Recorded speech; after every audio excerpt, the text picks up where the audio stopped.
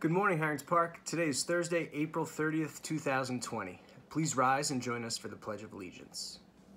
I pledge allegiance to the flag of the United States of America and to the republic for which it stands, one nation, under God, indivisible, with liberty and justice for all. We have no staff or student birthdays to celebrate today, so if a family member or friend happens to be celebrating, give them a big happy birthday from the HP family. Expect clouds for most of the day with the occasional rain. Temperatures look like they're going to start creeping into the 60s. As temperatures start to rise heading into the weekend, please remember to continue abiding by all social distancing guidelines. This is just a quick reminder that HP Strong gear is on sale through May 3rd.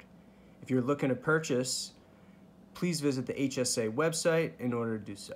All proceeds are going to benefit the HP first responders. Okay, guys, it's Thursday. You know what that means. I need you all to say it with me. Don't forget your masks. Well, that's all the news for today, Harrington Park. Tune in tomorrow for all the latest and the greatest. Stay well. See you next month.